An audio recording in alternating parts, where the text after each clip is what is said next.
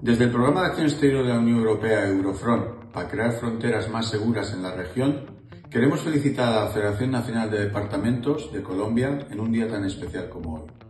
Hoy se cumplen 30 años, 30 años del nacimiento de la Federación, 30 años de trabajo, 30 años de liderazgo en la región, 30 años de liderazgo en el país, en Colombia.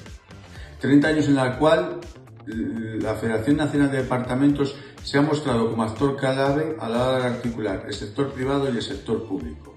Y además ha ejercido un liderazgo en la llegada de proyectos internacionales al país, ayudándonos a trabajar en el mismo, como es el caso que yo represento, el programa Eurofront.